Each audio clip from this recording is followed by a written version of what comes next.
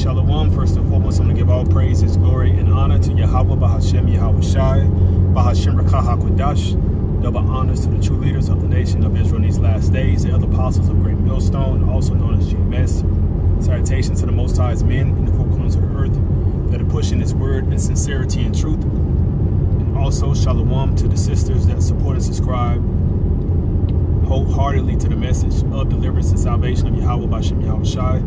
This is your brother Banyamyana from GMS, Mississippi, with an intrinsic topic going into why did the Most High establish laws. The scriptures talk about how Esau Edom has deemed himself the God of this earth. He has categorized himself on the same equilibrium as the creator of the heavens, the earth, all things above, all things things beneath, and all things within, which is Yahweh, the Most High. Esau Edom thinks that he is the Most High on earth.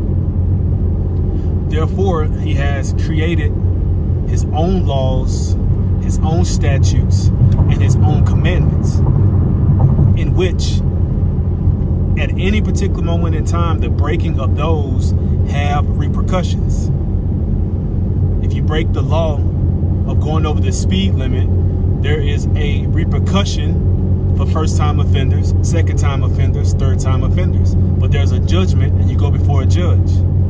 If you were to slay a man, Esau Edom has a judgment and you will be presented before the judge to hear the verdict.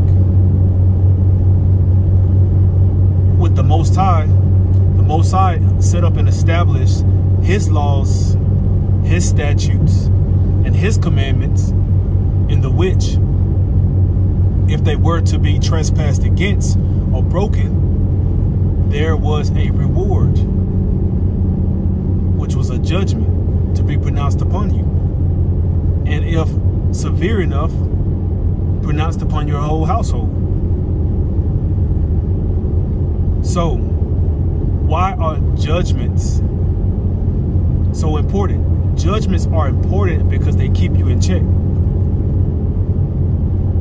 When you look at the laws of this land, which are the laws of this man's system, this world, you know not to break certain laws so blatantly because you understand that you shall go before the judge. You understand that there is a recompense.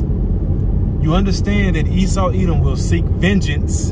He will seek wrath. He will seek judgment he will seek a verdict, ultimately, to have you incarcerated for the longest term possible. But also, you understand that what comes along with not abiding by the laws of this earth, it can jeopardize your freedom. Now, the Heavenly Father set forth laws. When you read in the book of Deuteronomy, they call it the books of the prophets read in the Old Testament,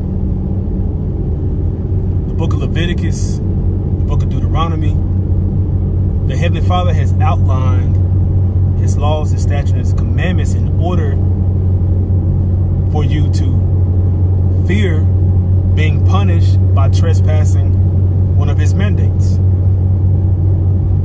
And how do you know that? Because you fear Esau. You fear blue lights get behind you and you know that you ran that red light, you know that you hit that car and did not stop, you know that you were going above the speed speed limit, you know that you were driving without insurance, so on and so forth, right? And then boom, you get caught. Then here you are, you have to pay a fine, your record uh, record has a blemish on it, and or if severe enough, you go to jail, right?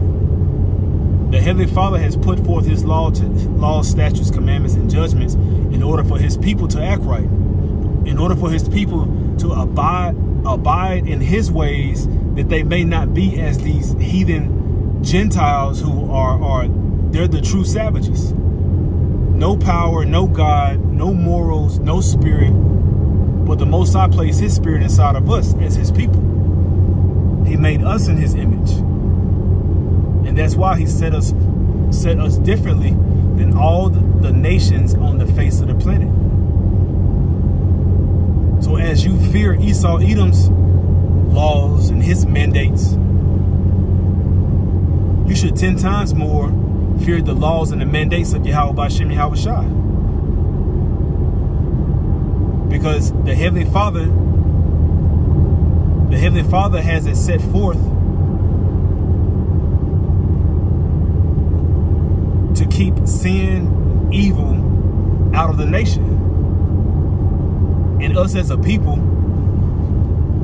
when there's a cancer that begins to arrive, when there's adultery that begins to be found out and possibly can spread, it's like a cancer. And the Most High set forth his laws in order to remedy that cancer from spreading.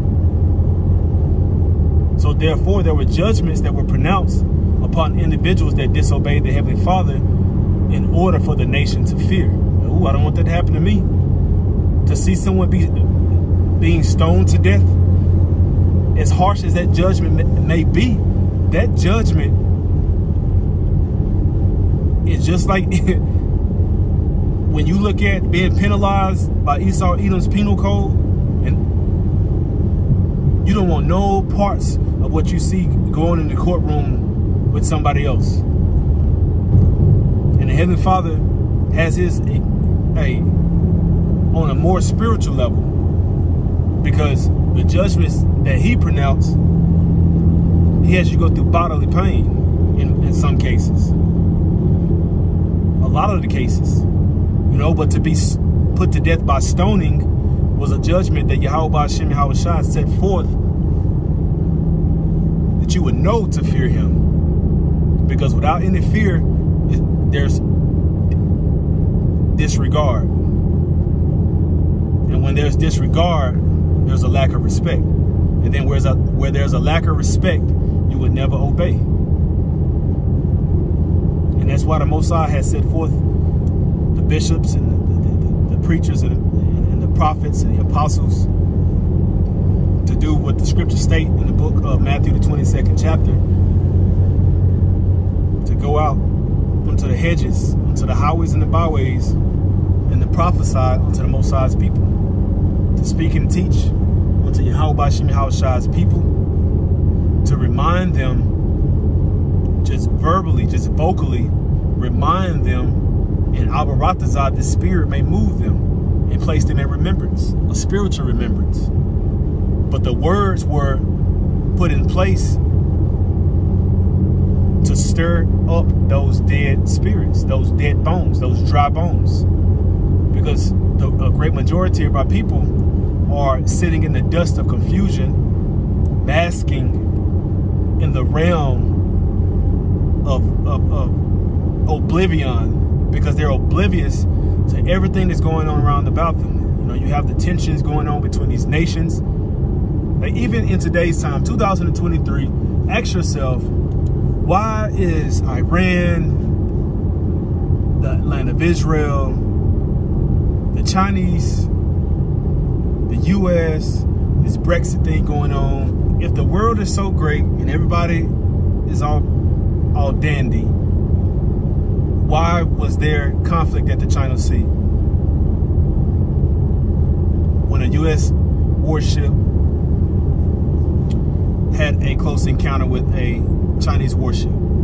How is that even a gesture that was supposed to kick off questions? Oh, what they mean by this? Or the, the United States would not be bullied. Like, whoa, if the earth was at peace,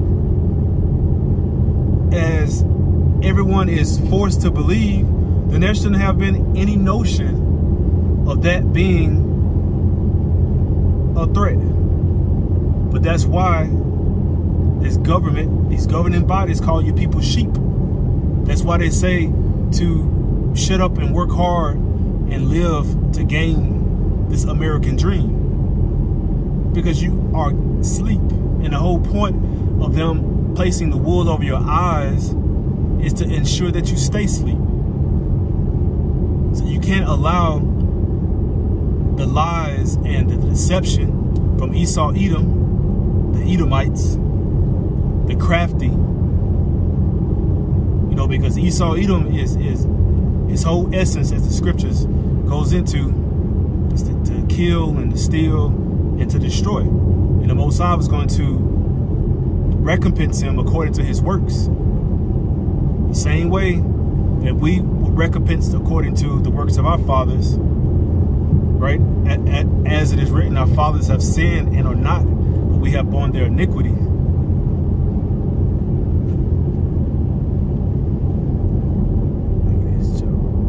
Our fathers have sinned and are not, and we have borne their iniquities. You know, the Most High has a, a great judgment prepared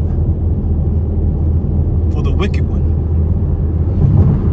And that staff of judgment is in the Most High's hand. And as the scripture states, the Most High is going to give Esau a cup, and he's going to have to drink the dregs of the cup. And Esau Edom is going into hardcore bondage. I mean, hardcore, severe slavery. When you look at the transatlantic slave trade, when you look at the history of the, the slave boats and how they were transported, when you look at the gathering of them up and, and place them in chains, you look at buck breaking, you look at the raping of the, the, the men and the, women, the women and the children and the young boys. None of that wickedness is going to be going on, but the, the, the bondage, the bondage that Esau Edom is, is, is going to be placed inside is going to be so spiritually strong. You're not going to be able to fathom it. The same way you can't fathom what the Most High has prepared for those that love him. Same way you can't fathom how the kingdom of Yahweh Shai is going to be.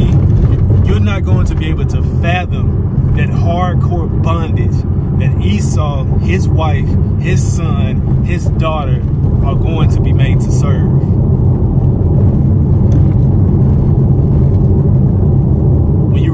Exodus, uh, when Joseph passed on,